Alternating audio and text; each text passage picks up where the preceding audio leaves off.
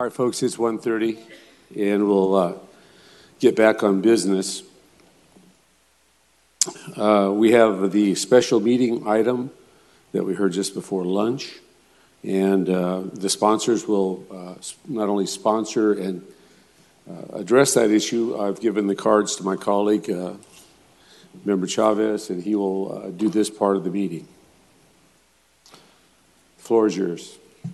Thank you, President. So just for the record and for the public that's here, I want to clarify that we pulled back the initiation of the amendment and replaced it with a general plan uh, review committee, the establishment of a general plan review committee that will be comprised of 17 uh, members, two of them uh, chosen by each council member, and then three chosen by the mayor. Um, And I just want to go over a little bit of background for that because I've gotten a couple of emails and calls from folks on why are we doing this now? Um, We just got through with the last general plan amendment. Uh, So I want to give a little bit of background. Um, And first of all, I think there's a perception that a general plan uh, is just about housing, and it's not. It's essentially a vision, uh, a mission statement of the city of Fresno that was put together by the council cohort uh, five years ago and the former mayor uh, and adopted. And to me, this is one of the most important conversations that a city council uh, can have. And there are two uh, issues that the city deals with that are 100% exclusive to uh, the council. One is land use, and the other one is budget. And so the number one question that I've gotten has been, why now? What is the reason for us doing this? And what I want to point out for the record is that this is actually written into our policy. Anybody can go and check section 12-3 actually reads, and I want to read the quote for you. It says, "The city will reevaluate the general plan every five years using information from, but not limited to market demand studies and analysis to determine land use needs." So in background of that, the last time we went through this, taxpayers spent over $3 million to develop a plan half a decade ago. And so I think it's only fair that we ask the question and assess what did those taxpayers get for that amount of money that was spent? So let's look at southeast Fresno. Let's look at southwest and northwest and what it looked like five years ago. And let's cross reference to what it looks like today. And equally as important, and I think this is going to be a, a, a big perspective and approach that I have, is we also need to look at what Madera is doing, what Clovis, what Kerman, what Sanger, and Fowler look like. Because I'm going to be presenting some uh, information on, on what their development has looked like since we adopted our plan. And let me just state for the record that there were some accomplishments that were delivered by the current general plan. Uh, we actually secured over $20 million for uh, Fulton Street and the revitalization uh, 40 plus million dollars for our bus rapid transit system that runs along the corridors, uh, new restaurants in downtown, uh, but we also have to look at what did it not deliver as well. And in my opinion, we should have performance measures built into the general plan and revise those on a yearly basis. Where are we at with housing? Where are we at with transportation? Where are we at with parks? Where are we at with a whole list of other amenities that the city of Fresno is responsible for.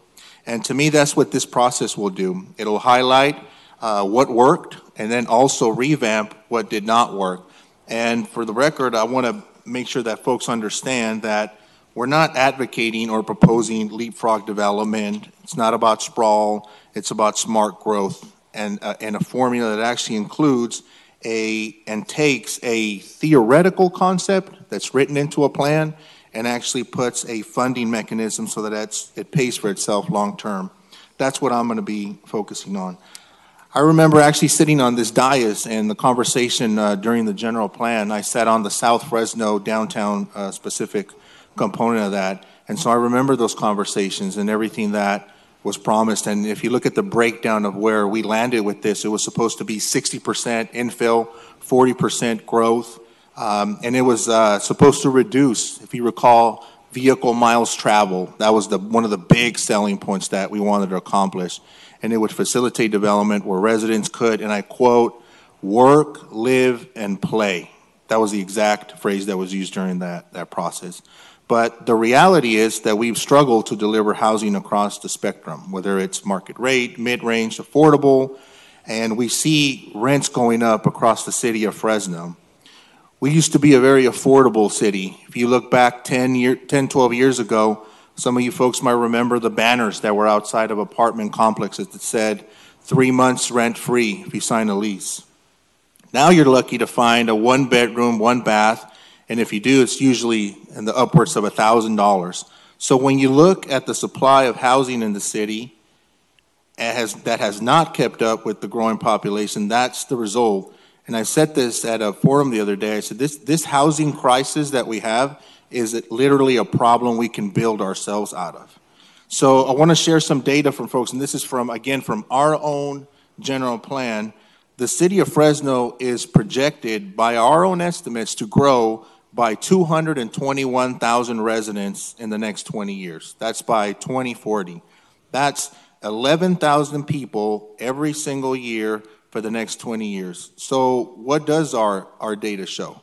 Our data shows that our building activity has actually de decreased drastically from a high of 3,270 in 2015 when the plan was adopted to the subsequent year in 2016 of 1,257, 1,467 in 2017, and then last year it was only 1,337 building permits. So when you look at that data and you cross-reference that with our growing population, something's not quite right. Construction did not just freeze. We know that it still occurred, but it occurred on the even more outskirts of Fresno. You look at uh, the developments that's happened away from our core. Madera has a projected new city of 120,000 people that is literally 14.5 miles away from the core of Fresno. And when I say core of Fresno, I'm not talking about across the river from them. I'm talking about downtown, southwest, southeast, the core of the, of the city. So we look at those, at those stats, and you look at what development's been lost to Clovis, Kerman, Fowler, Sanger. That's why we see these huge bottlenecks of traffic. And if you don't believe me, at 7 a.m. and 5 p.m., you see this huge influx of traffic coming into the city of Fresno, our core. And you have folks that live in Madera that now have to travel 14 miles to get to work. Folks that live in Sanger that now have to travel 8.5 miles to get to work and folks that live in Kerman that have to travel the same distance. So one of the primary reasons why we did this was to reduce vehicle miles traveled. We've actually increased that from folks that work here in downtown at the core of the city. And now what we essentially did is we formed bedroom communities from folks that come from outside work here and then come 5 p.m., they're out of here. So to me, that's lost revenue for the city of Fresno and one of the biggest eye opening experiences for me has been when I'm trying to lure uh, retailers and shops to come here.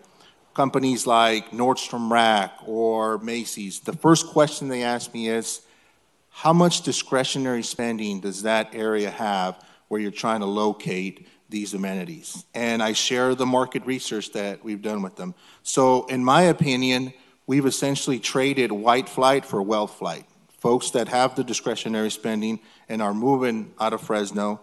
And look, I'm going to present the data as we go through this conversation, but I want to remind folks that again, we, we um, pulled back the initial uh, amendment and we're going to set up the review committee, which I know will be a very robust uh, community outreach uh, process.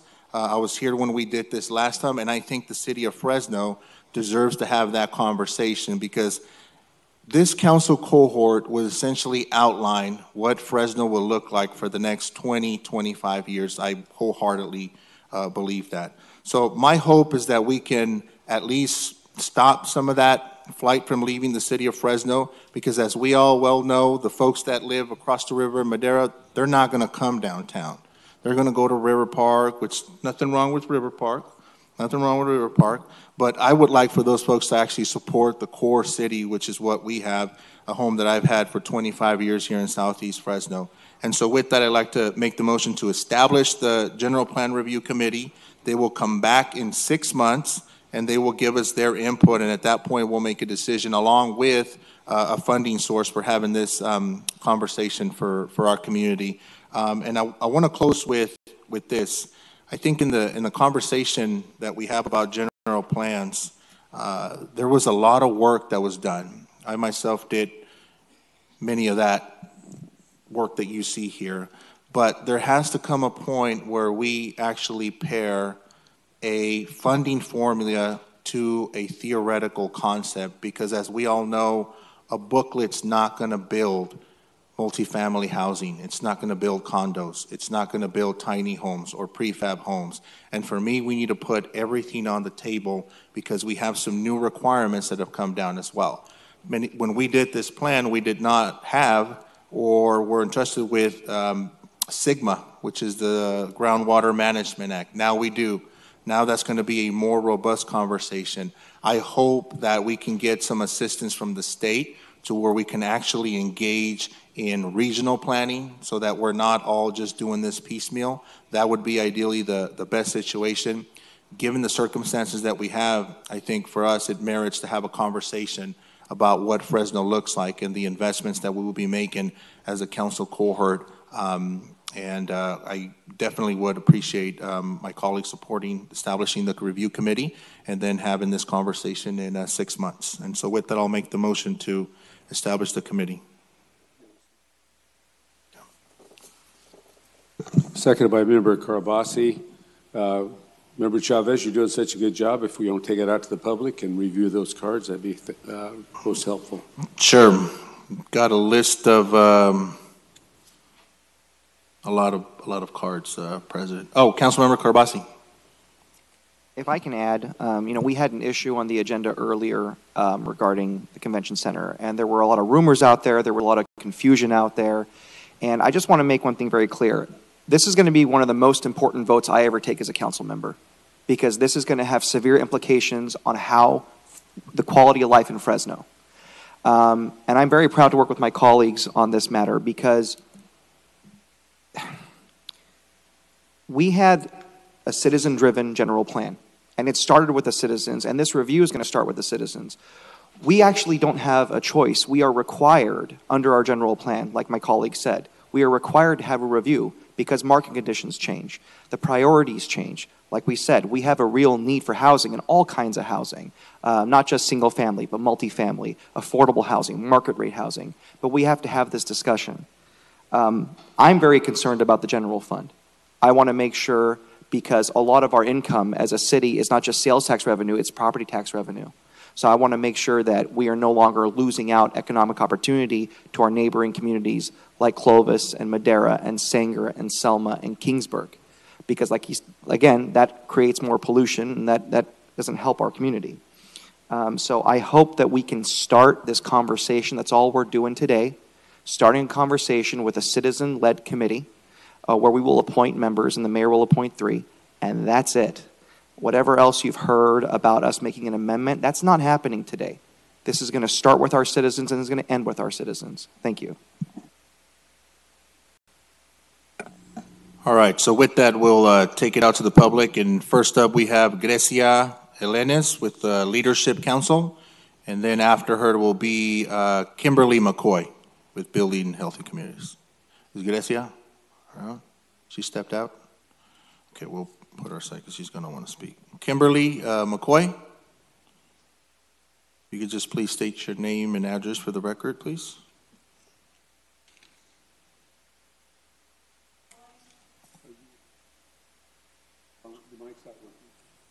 Oh, you guys don't want me to make comments? Oh, there we go. Kimberly McCoy, my address is 3138 West Santa Ana, and precinct can't remember my precinct number right now, but in District 1. this council should establish an implementation committee which is diverse and include involvement from community based organizations, community residents, and businesses in the area, just like any other implementation committee that has been established. The priorities of the general plan is to ensure investment in older and disadvantaged neighborhoods The implementation committee should follow the outline for the general plan that was approved five years ago. Community residents and leaders worked hard on the general plan to ensure that their voices were heard on how they would like their city developed, and that is something that this council should honor and commit to doing. Thank you. Thank you. Next up, we have Nathan Ali with the Fresno Chamber. Aubrey.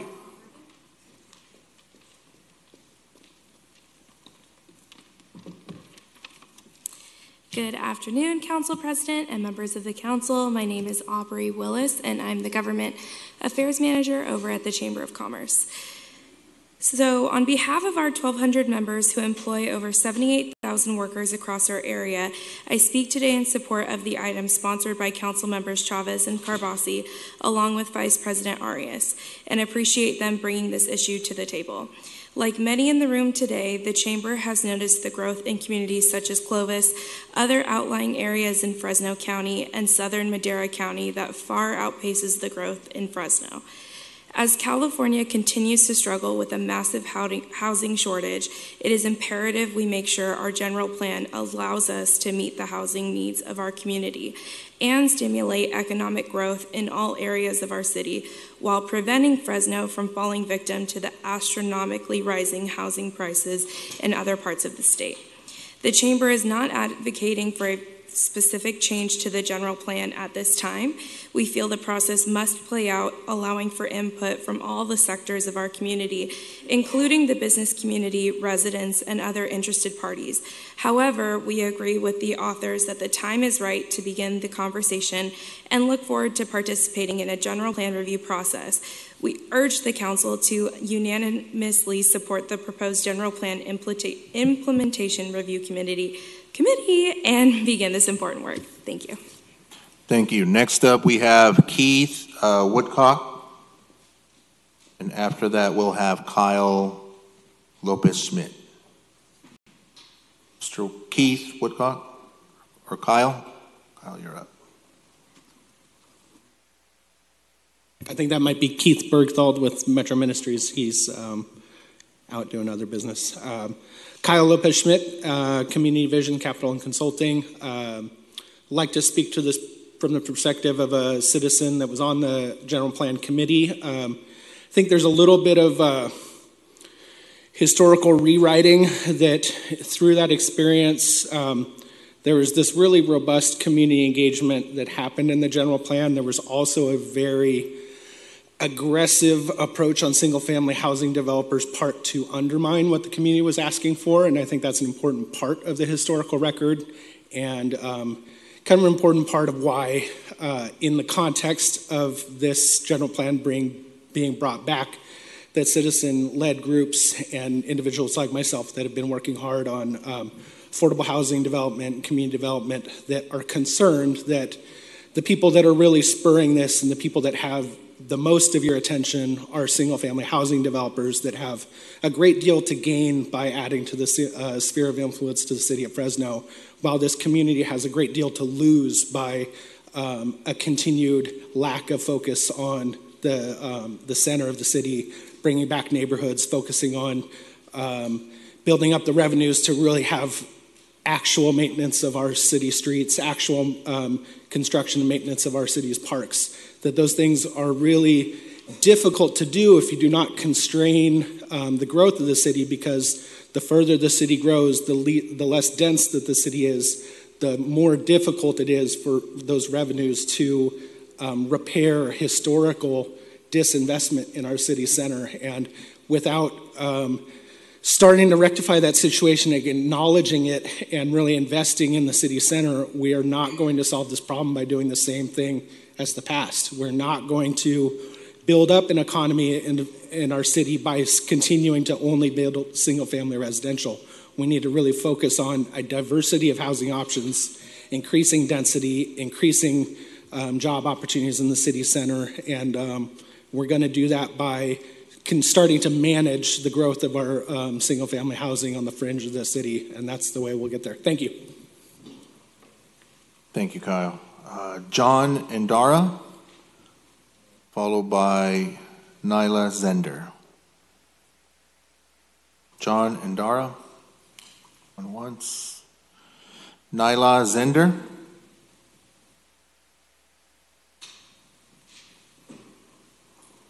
Zender. Good afternoon. My name is Nyla Zender, and I live at 1523 West Robinwood Lane, Fresno 93711. I'm a member of the League of Women Voters and serve on the Affordable Housing Committee. The League has been a strong supporter of the current general plan update done in 2014, just five years ago. We approved the procedures and processes followed on producing the update. For example, a 17 member Citizens Advisory Committee was formed to gain input from the public. One of our league members served as co chairperson for the group that held 18 meetings and offered many ideas for the plan that were actually heard by the people in charge. There were 14 public information meetings held in various areas of the city to inform citizens and hear their responses.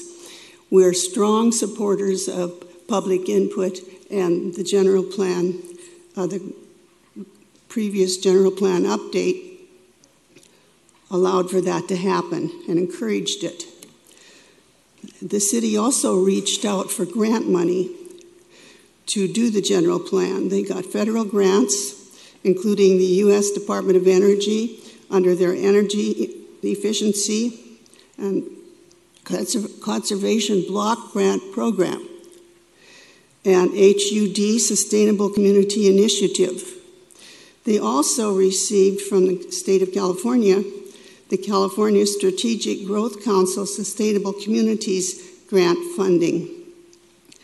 Now, some of these grants were provided to integrate long term community sustainability principles and practices into land use planning and zoning in Fresno.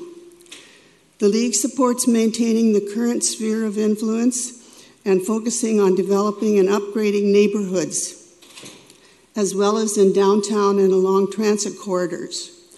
There's available land in Fresno that can be used to provide more housing. The general plan encourages all of these ideas.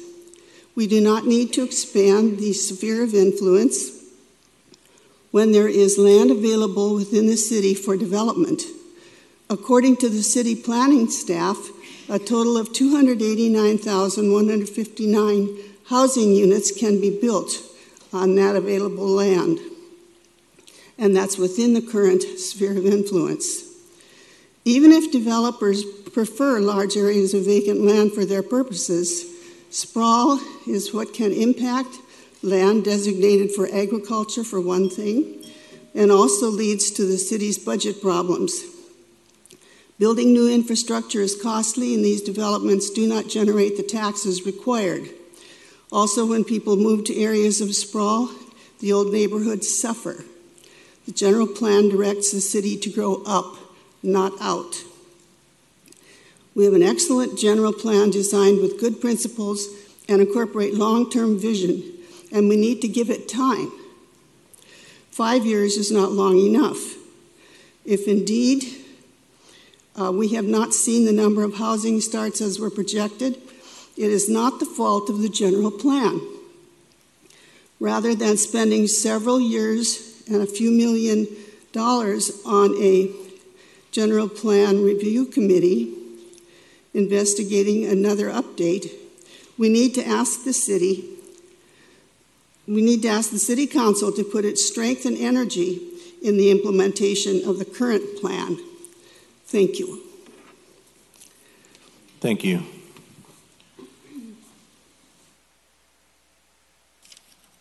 Joe White.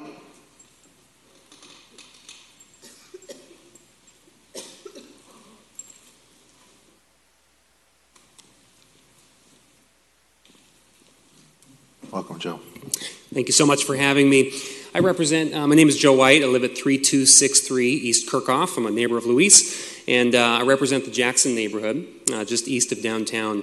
And uh, I'd just like to communicate on behalf of my neighbors that uh, in the last four listening sessions that we've held in our neighborhood, about 33% of the neighborhood, our, our neighbors are asking for more affordable housing options closer to where they already live. Uh, they're not asking to go to the outskirts. They uh, would like to see the nine vacant lots that we have in our neighborhood built on. Uh, they're ready. They're, they, they want that. Um, but in addition to that, our neighbors also recognize that, kind of psycho- from a psychological perspective, it sounds a lot like build, building wealthy neighborhoods for wealthier people. And, uh, and our neighbors don't like how that sounds. In fact, they feel empowered by a general plan that uh, seems to just suggest that infill and uh, building close to where people already live is the priority.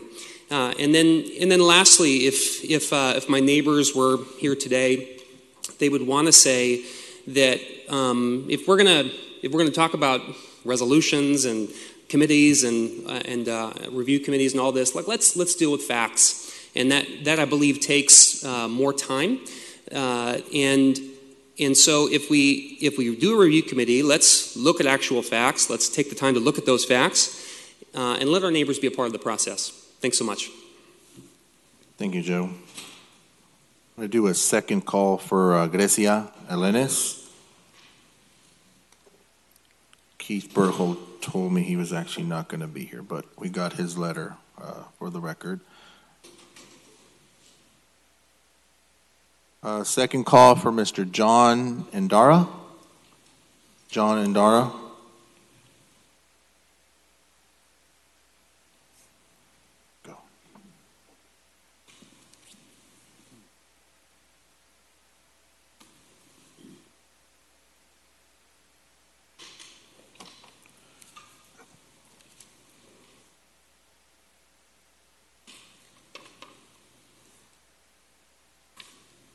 Eddie Burgos. Eddie Burgos from Numbskull Productions. That's what it says, guys. It says, it says Numbskull Productions. Okay. Seems legit. Uh, Jason uh, Lawton.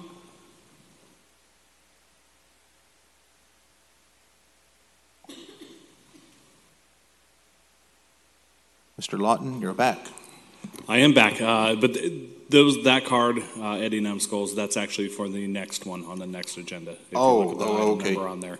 Uh, same with Chris Miller. Uh, there might be a couple other ones on there. So you didn't want to speak on this? Nope. this item? Okay, we'll save, we'll Except for save good this on luck. the side. Got it. Thank you. All right, Ivanka Saunders. Welcome. Hello, good afternoon, President and Council members. My name is Ivanka Saunders, address 764 P Street, Fresno, California. I'm a policy coordinator with Leadership Council for Justice and Accountability. I would like to make a comment as it relates to this item for a general plan review committee. Regardless of how the city decides to move forward on this item today, please ensure that the city is complying with its own policies that are currently in place. I'm sharing with you the language of the City of Fresno's housing element. Um, this is part of um, the Housing Element Program 27, in which a General Plan Implementation Committee was supposed to have convened in early 2017, and that committee would have opportunities to provide annual recommendations to the city on its prior- prioritizations of future investments. This is yet to occur, so thank you for now complying with Program 27. If you decide to create a committee to review the general plan, it would also cover that. Program 27 states that the General Plan Implementation Committee must include a diverse cross-sector involvement from the private sector, including developers, community organizations, as well as other relevant public institutions to review progress on the priorities established in the general plan to invest in an older to invest in older and disadvantaged neighborhoods and continue to refine and review city policy and practices to ensure investments and policies are furthering the goals of the plan. It is important to respect the time and investment by community members, stakeholders, and city staff that has been put into the recently established specific plans within the general plan. As we continue to review the general plan, please continue to publicly engage the commi- community and ensure that the city staff and the implementation review committee have clear direction that their analysis should focus on how effective the general plan has been to reinvest equitably and reinvigorate established neighborhoods. Also, besides Program 27 of the housing element, there are still several other housing element programs that are relevant to the general plan that are not being implemented, and some initiatives should be taken by this council to help ensure that we're meeting the housing needs of all Fresno residents. Thank you. Thank you. Uh, last one I have is Mr. Radley Reed, visiting us from Clovis. Welcome. Thank you so much. Councilman Chavez, members of the council, my name is Radley Reep, and I reside at 557 West Escalon in Clovis. I know I'm not a Fresno City resident, but as you know, general plans have far reaching effects, and there needs to be coordination between all entities. There are two things I'd like to, to do. Uh, one is to ask you a favor. Mr. Chavez, if you would explain to the people who have not had a chance yet to see the amended um, agenda item for today, how are members of the public going to interact with the committee? Are there going to be public meetings, workshops? And so that hasn't been said yet orally, and I don't know if it's written out or not. If you would say something about that, and I'll let you do that in just a second. But the second thing is this I'm not sure all of you are aware, but in 2020, Fresno County is probably going to update its general plan, make the final update. And that's going to be from the year 2020 to the year 2040. I didn't hear anybody mentioning about coordinating with the county so that the plans work together. I'd like you to address what you think is going to happen in that regard. Thank you so much.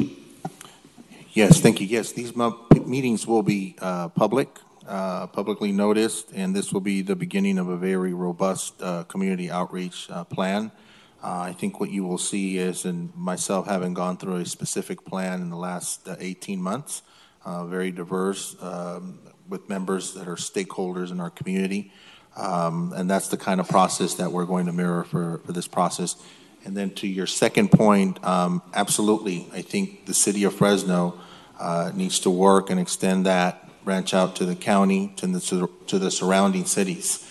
Uh, often things we, oftentimes we do things in silos, uh, but that's going to be um, more of a, of a broader conversation for regional planning. Uh, it's been tried in the past, um, and being very upfront, Clovis hasn't been very amenable to that uh, recently because they have their own interests. The city of Fresno uh, does as well, but we need to start thinking regionally about this metropolitan area uh, that we have, and I think you'll see that be part of this conversation that we're um, hopefully beginning uh, today. Thank you. All right, those were all the cards that we have. Uh, President, uh, oh, one more card.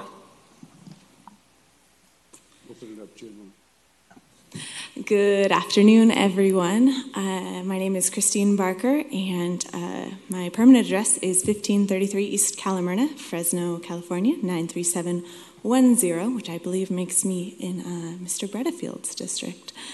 Uh, I uh, am here today because I am excited about an implementation committee. I think that's important, and I'm really worried that the last minute uh, resolution that I read this morning uh, makes it sound like a general plan update is the automatic um, resolution of having a committee meet twice a month for six months.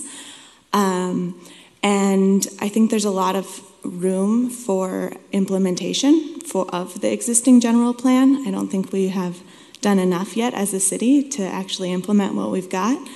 Uh, and a general plan update is an extensive, expensive process uh, that will, if, from my perspective, and I'm not a lawyer, uh, if you are already decided that you're going to expand the sphere of influence, then of course you need a general plan update because of course you need an environmental impact review.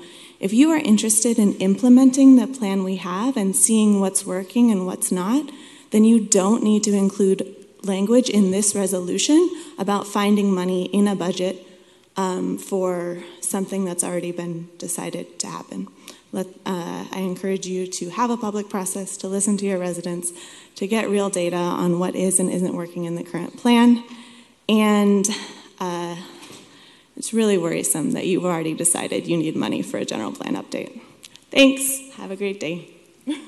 Thank you, Christine. Uh, Now we'll open it up to the general public. If anybody wishes to speak that hasn't filled out a card, now is the time. So, seeing no- nobody? Oh, one more. Candidate for mayor's office, Brian Jefferson. Um, 825 West Princeton Ave. Um, I think that uh, it should also be more transparent for the general public to to know more about um, the plans for development.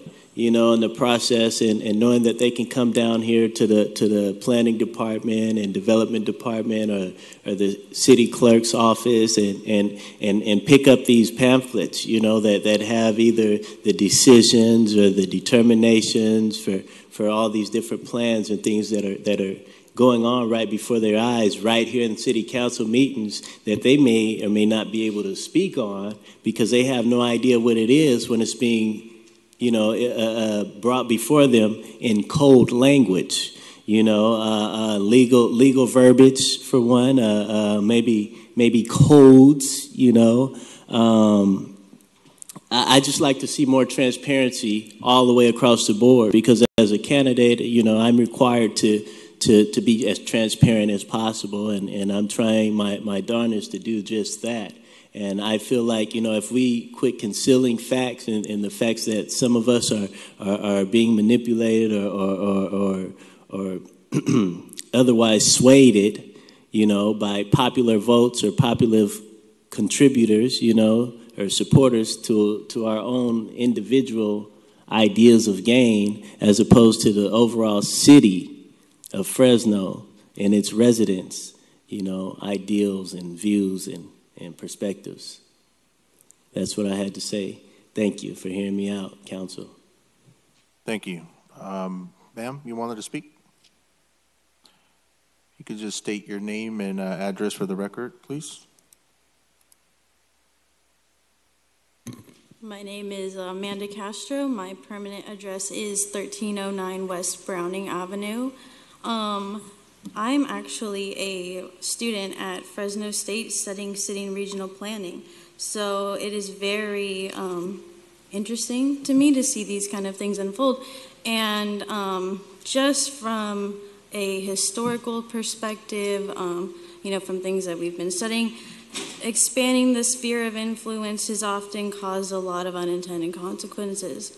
And I feel like that's something that we should consider really consider, you know, with this committee. And like you had said, this committee is going to be um, part stakeholders in Fresno. I'd kind of like to know exactly who that is, just because we know that there are some developers, you know, who have quite some influence in Fresno. And, you know, it'd be interesting to see if they would be on that committee, probably, you know, in creating any type of biases, anything like that. But at just the surface level, I feel like expanding is not a good um, solution, solution to a problem that we have here in Fresno. We have vacant buildings that are burning down here in Fresno. That's become a problem for our already stretched thin fire department.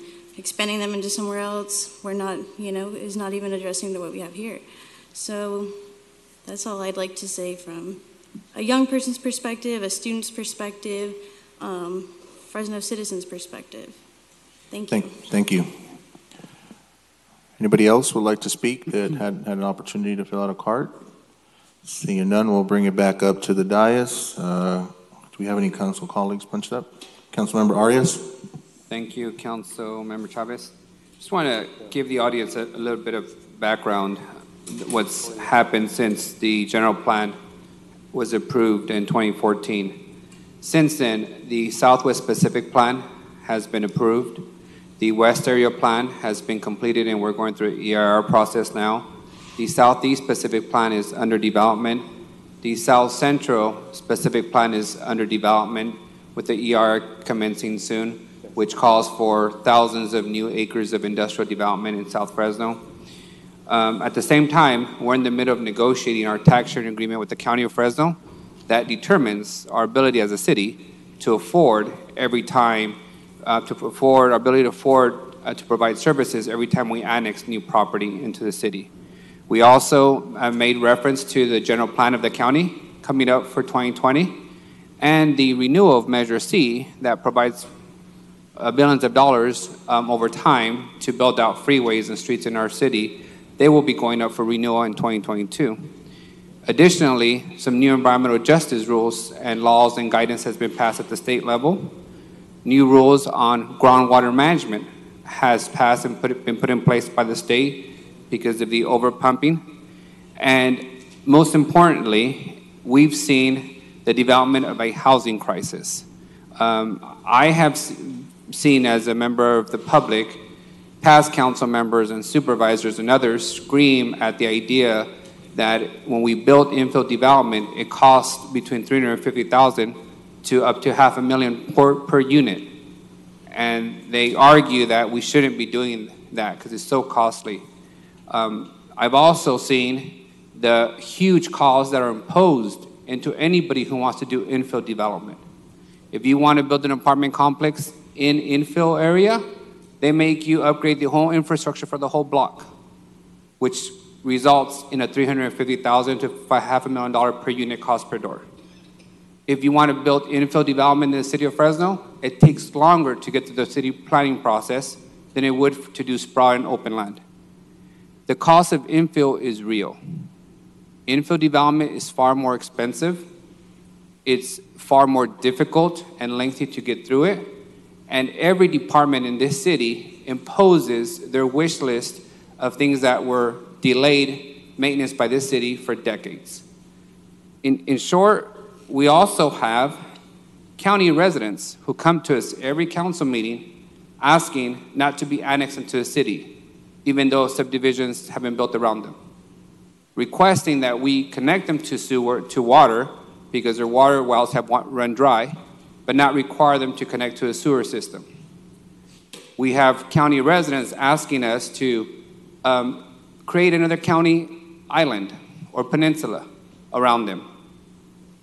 We have county residents and city residents complaining of the bottlenecks that exist west of the 99 because we're surrounded by two and three acre parcels of county residents that don't want to sell their property to a developer who wants to build infill or to anyone. We were given a very clear and ambitious goal in the last general plan build infill. But the tools were not put in place to allow us to do it effectively. We're also going to have to wrestle with a public safety or parks tax, asking our voters to tax themselves more money to pay, per, to pay for police and fire and parks at the same time that we still waive impact fees for police, fire, and parks at times for companies who want to locate in Fresno, for companies who want to expand in Fresno. We find ourselves contradicting ourselves on a daily basis. What county residents want versus what city residents want, what the Board of Supervisors wants to pay for, what costs they want to keep versus what the city wants. In this last expansion, where we brought in Amazon and Ulta, the most financial benefit besides the jobs that were created, was to the county of Fresno. The city residents are giving tax rebates annually to those companies. These are all realities that we have to tackle, and I'm supportive of doing this review because we can't kick the can down the road anymore. Things were committed to, aggressive goals were set, and as much as some folks may not like developers, you should know I spent 10 times more of my time as a council member talking to folks who want more infill or who want us to fix the problems that sprawl didn't, uh, that created, or to build sidewalks in schools that have been annexed 75 years ago into a city but never had sidewalks built, roads in South Fresno that are third world country conditions, than I do with developers who want to sprawl.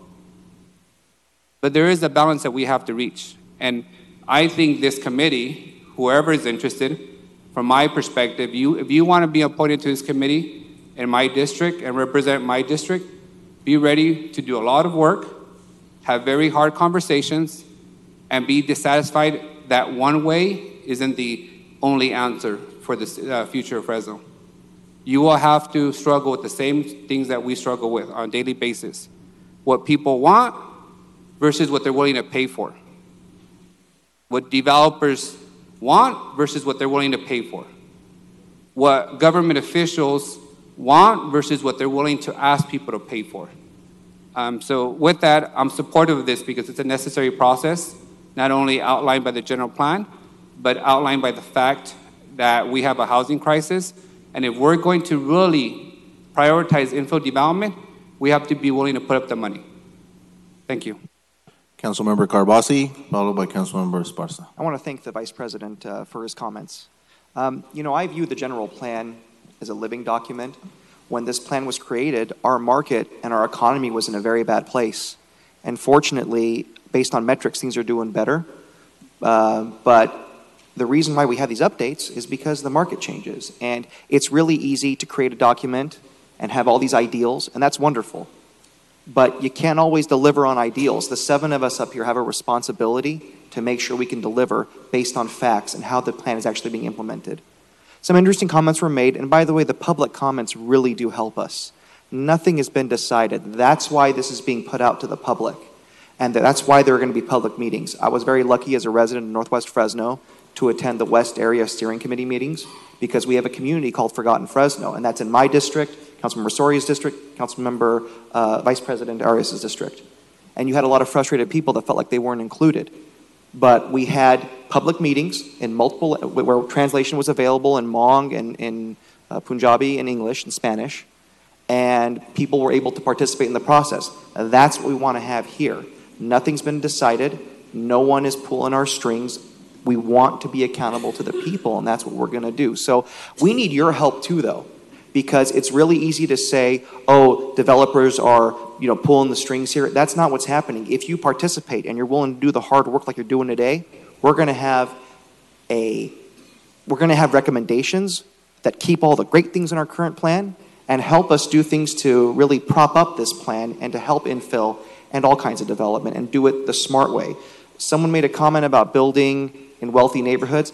I, I know that is a popular perception, but that's not what smart growth is. Um, and that's not what we're trying to do here today. Thank you. Thank you. As the, uh, as the council member who represents the only landlocked district in our city, District Number 7, uh, with the highest rate of poverty and, and highest rate of dilapidated infrastructure in our city, uh, I have to remain uh, wary, wary of any policy or potential course of action that could ultimately, you know, end up harming our existing neighborhoods uh, and continue to leave them behind. And I know folks are frustrated with the, the lack of growth we've experienced under the new uh, plan, the, the five-year-old plan. Um, and I agree, we do have a problem. Uh, but the problem, from my perspective, is not the actual plan. Uh, the problem is that we have a whole crop of elected leaders, uh, both past and present, uh, who have really failed to put their back into making this plan a reality. Um, if you want to know what I inherited uh, when I stepped into office uh, on Blackstone, I inherited a Popeyes, uh, Blackstone and Cornell. And two blocks south of that, uh, we have a Burger King going up. And I mean, that is literally and figuratively garbage. Uh, garbage development uh, for the Blackstone corridor, a place that holds so much promise here in our city. So, down, not just Blackstone, but also downtown, Ventura, Kings Canyon. these may represent the past of our city, uh, but they also represent the, the future of our city. Uh, and so I think what we should be doing right now is doubling down uh, on this plan instead of retreating from it. Uh, and that's why, you know, I, I, think I might suggest some language um, about the scope of this committee that really limits the work to how we fulfill uh, what we have here in the in the current plan, um, and, and potentially based on, on one of our speakers' suggestions, look at striking the funding, uh, the last sentence of the amendment, the last sentence of the actual resolution. To me, the, the general plan is is a long-term value statement. Uh, you know, very similar to how we conduct the budget every June. Uh, that's sort of a short-term statement of our values of our city. I think the, the general plan is kind of that long-term version uh, of those values. Uh, and that's why, you know, what I'll be doing, notwithstanding what happens here uh, today, is uh, very early next year, I'm going to bring forward legislation that actually helps uh, the cause, helps uh, fulfill uh, the current general plan, and it's consistent with that vision. Uh, I'm bringing forward uh, tax increment financing, financing mechanisms in the form of enhanced infrastructure financing districts and/or uh, community revitalization investment authorities, to be specific. So I'd like to offer up those amendments in terms of striking that that sentence about the identifying the funding, uh, and also limiting the scope to looking this committee just looking at how do we uh, take our general plan and actually fulfill it. Because again, I'll, I'll reinforce, I don't think there are too many folks here in this building that have really uh, put the effort into fulfilling this vision. Council, oh, yeah. I actually do applaud your comments, and you're probably most impacted by this, and I agree with that. And if it's okay, um, Councilmember, um, the reason why I'm going to ask not to do that is because we want this to be an open process for the public. We don't want to handcuff this committee. That way they can do what's necessary. But I do think it's important that they understand that they do have that option to keep doing, keep the good parts of the plan. But if we handcuff the committee, we're effectively telling them, this is all you can do. And a review process should be open to all options on the table. And I do encourage, and I will do anything I can to support you and support your district in this process to make sure that District 7 is represented and not left behind. So you do not accept the uh, the amendments, the amendments to strike the. Uh, so you, you're not open to revising the scope. Are you open to striking the last sentence about the funding? If we do that, then we're telling them, we want you to put all this time and effort into working on this, and any recommendations you have, there's not going to be any funding secured. That's my only concern. If my colleague wants to comment on that, again, I don't want to handcuff the committee. Well, I mean, I, I think funding is always going to be an issue in whatever we do. I mean, I, I think uh, if we really were to dig in, just from my perspective, looking at the lack of progress in our general plan, I mean, one big issue with in- infill development is this, we as a city have failed to invest in the infrastructure um, uh, to make it possible so, so that we can avoid uh, these ridiculously high or per door costs uh, on these projects. Um, so I, I offered the amendments, and it's up to you to, uh, to accept or not. No. Uh, Councilmember Soria, she's been very patiently waiting. Thank you. So I just have a few c- comments, and I appreciate, you know, the folks from the public, um, residents that came to weigh in on what we have um, before us. And, you know, I want to echo just a couple of the comments that were made by some of my, um, some of my colleagues. And I think that one of the issues, and I've, you know, myself and Councilmember Caprioglio are kind of the ones that have been here now the longest. We're the the the veterans here. Um, but one of the issues that I have seen, and what we do have to also include as part of um, having this review, I'm not opposed to it, but we really have to have an honest conversation also about our planning department and the time and um, you know the issues with efficiency and permitting process. Because I will tell you that one of the biggest frustrations for me has been that my office has had to handhold a lot more in the last few years than before. And so when we're talking about permitted, you know, permits being pulled or development not have, happening as, as fast, I hear, you know, every, every other day, well, it takes so long in Fresno that we rather go to Fres, um, Clovis and Madera. And so we have to have a broad conversation about the types of resources that we do have readily available to make sure that not only are, do we have the resources to, for infrastructure and those types of investments that are going to track the development, but that we also have the capacity within our planning department because if the demand for permits increase, we have to make sure that our planning department is staffed up um, to meet those demands. The other thing that I will say, um, because I've been a big supporter and have led efforts to try to revitalize some of the infill areas, it takes a long time to put a development um, together for when it's related to affordable housing because of some of the issues that were highlighted earlier, the cost. Um, so if any of you guys have driven up Blackstone and McKinley, um, you guys are seeing um, some demolition happening. And so there's actually going to be an 88 housing unit, mixed use, uh, affordable housing development that's going to come in that area. I will tell you guys that I started working on that project six months into office. And so five years later, that's how long it has taken. So this project won't even be built until probably finished being built until next year. There, the the amount of time it took to put the funding streams together, the amount of time that it took to make sure that um, because we had to relocate businesses and, and deal with that, it has been a lot. So when we're talking about some of those challenges, we have to figure out how we could hopefully become more efficient with that. And I think what also Council Member Arias mentioned, I think that we've the city has done, at least in the last few years, a really good job now of doing more planning. And so I'm excited that the West area, which I also represent, um, finally ha has gotten some attention in the last few years where now we're planning for the future because there was a lot of leapfrog um, that happened. Uh, there's city and county still roads that are mixed, and that has impacted the ability to put infrastructure because we hadn't planned accordingly.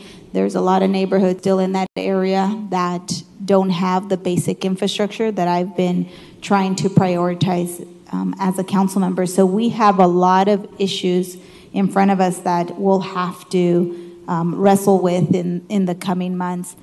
The other thing that I wanted to point out, and um, thank you for the copy that you guys gave us. I think it was Leadership Council on um, part of the housing element plan um, and program 27 where it talks about equitable communities because i know at least in the southern part of the city there are a number of those. One of the things that um, is noted here was that um, we should be doing an annual report.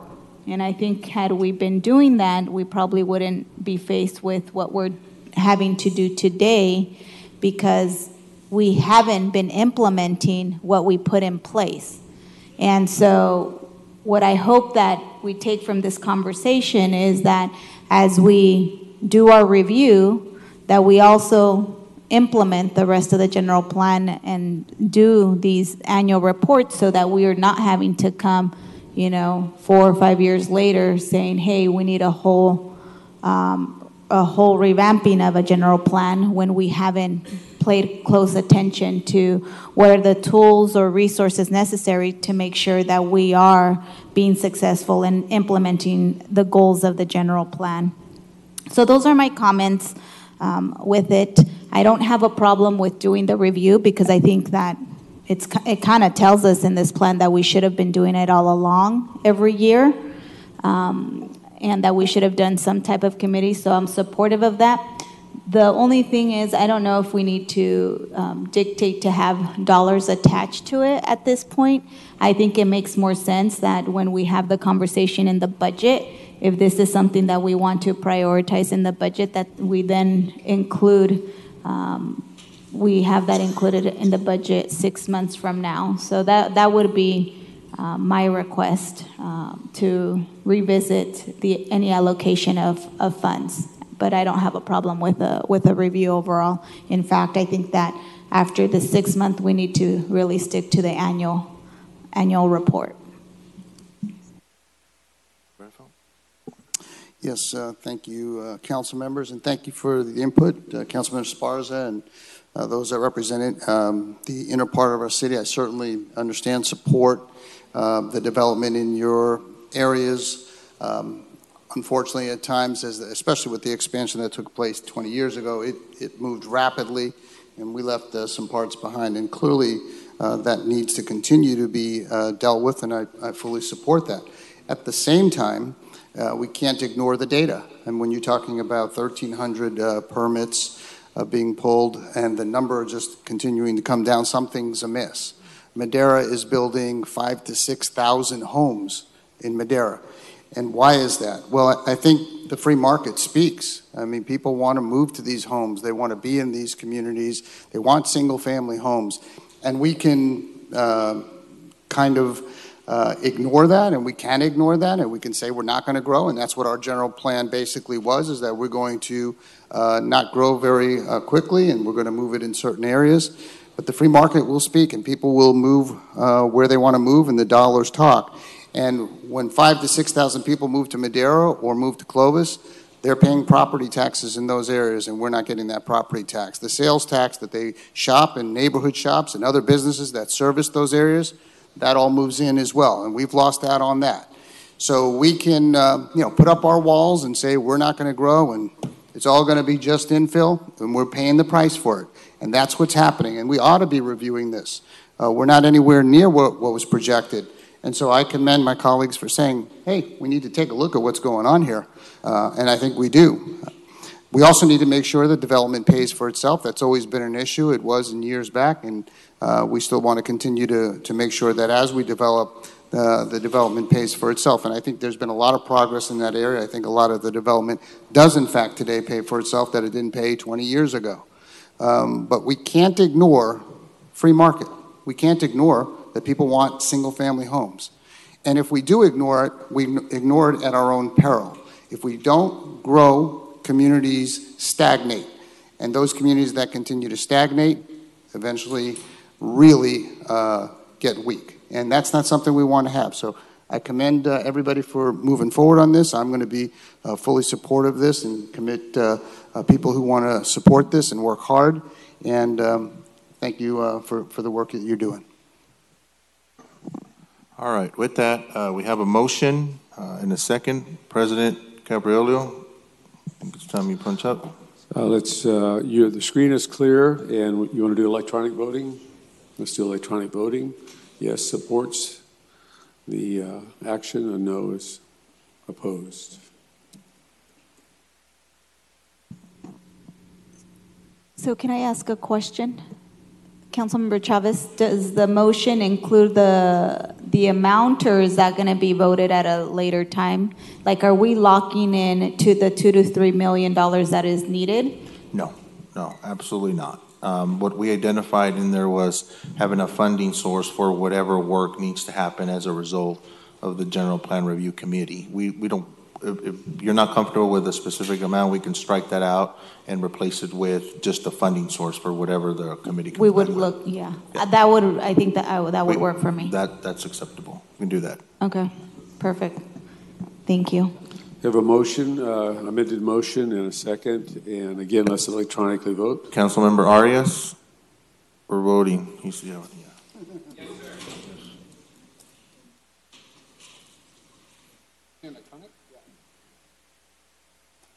Nice that you came back. Thank you. Passes seven zero, thank you.